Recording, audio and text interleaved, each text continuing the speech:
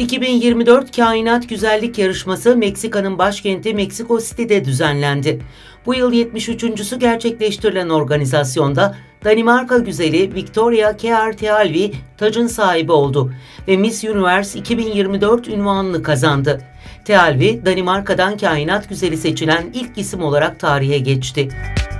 Heyecan dolu yarışmanın sunuculuğunu ise eski kainat güzeli Olivia Culpo üstlendi. Yarışmaya birbirinden güzel 126 aday katıldı.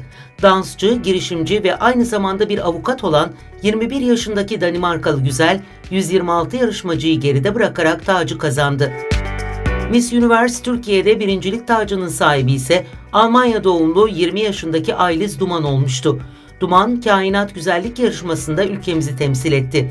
Sosyal medya hesabından açıklama yapan Güzel, gerçekten çok güzel bir tecrübe oldu. Yine de bu süreçten çok şey öğrendim ve kendimi geliştirmek için harika bir fırsat oldu diyerek kendisine destek verenlere teşekkür etti.